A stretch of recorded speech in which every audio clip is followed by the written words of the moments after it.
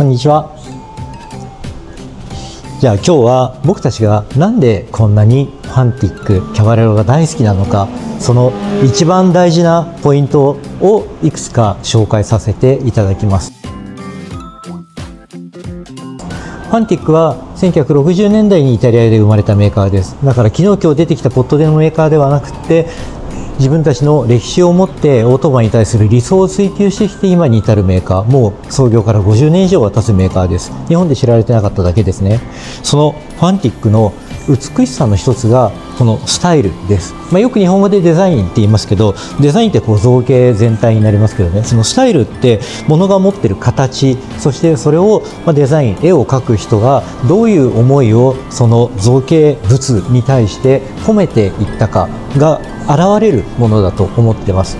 えー、オートバイに限らず車とか、まあ、どんな商品でもデザインには意味があって例えばファンティックだったらここにこう、まあ、いわゆるキャラクターラインっていう線が入りますけれどもそのキャラクターラインをがあることによって例えば光の当たり方で明るかったり暗かったりっていう場所ができてオートバイの美しさが演出されるんだと思ってます。でそういった面は、まあ、どんなオートバイにでもこう構成上生まれてくるんですけれどもキャバレロの美しさはこういう一つ一つの線例えばシートとタンクの継ぎ目絶対線ができますよね。でもタンクの造形とシートの造形をきれいに合わせてそれをサイドカバーの線と一致させる。そうすると生まれてきた、まあ、どうしても避けることができない部品と部品の継ぎ目のラインが一つのデザインに変わります。そういうところを大切にするのがファンティックのスタイリングの美しいところです。シートの下ってまあまあまっすぐになりますよね。シートの下がまっすぐになるところがそのままタンクの下のまっすぐのラインにきれいにつながると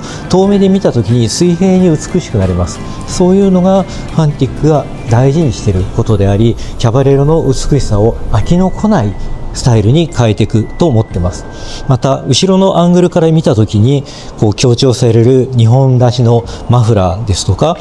あの丸いタンクですよね。で丸っこいタンクって、まあ、一見すると足つきにちょっと不利だったりするんですけれどもそれよりも大事なのは飽きのこない美しい造形またキャバレロであることでスクランブラーらしさであることっていうのがファンティックは一番重視しているので